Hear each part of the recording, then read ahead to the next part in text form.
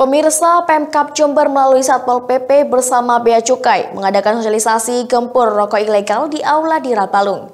Kegiatan dihadiri oleh tokoh masyarakat, puspika, dan seluruh kepala desa sekecamatan Balung tersebut bertujuan untuk mengoptimalkan penerimaan negara dari hasil cukai rokok.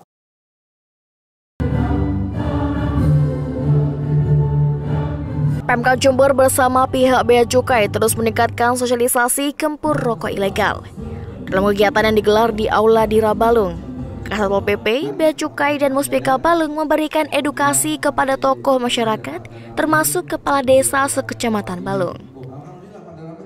Pengendalian peredaran rokok ilegal, di mana hal ini diperlukan mengingat peredaran rokok ilegal sudah sangat luar biasa.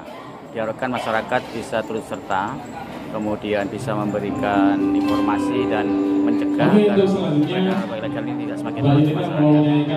Kami secara periodik mengadakan kegiatan uh, pengendalian berupa pembinaan, kemudian pengawasan kepada toko-toko dan toko agar mereka tidak melakukan transaksi dengan para pengedar rokok ilegal.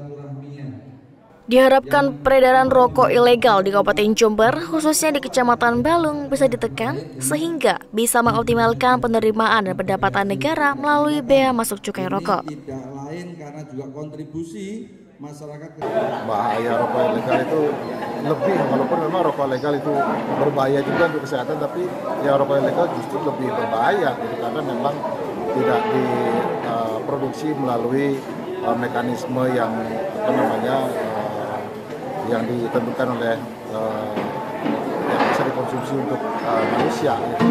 Jadi harganya pun memang uh, sangat murah gitu karena ongkos produksinya bahan bakunya, kemudian produksi yang lain itu terutama komponen yang 61 persen itu yang untuk pajak untuk negara itu tidak dibayar gitu sehingga bisa dijual dengan harga di bawah 10.000.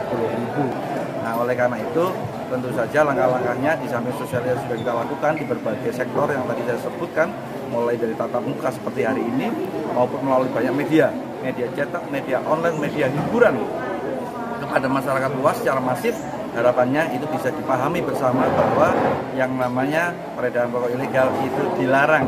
Kalau mengacu pada Undang-Undang Nomor eh, 39 tahun 2007 tentang cukai. Nah, oleh karenanya harapan kami adalah dengan strategi-strategi itu sudah sosialisasi diberitahu masyarakat mengerti masih melanggar kita akan lakukan penindakan.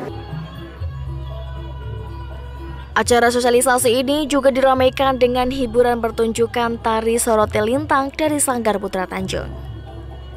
Dari Balung, Masugia Tajimatu TV melaporkan.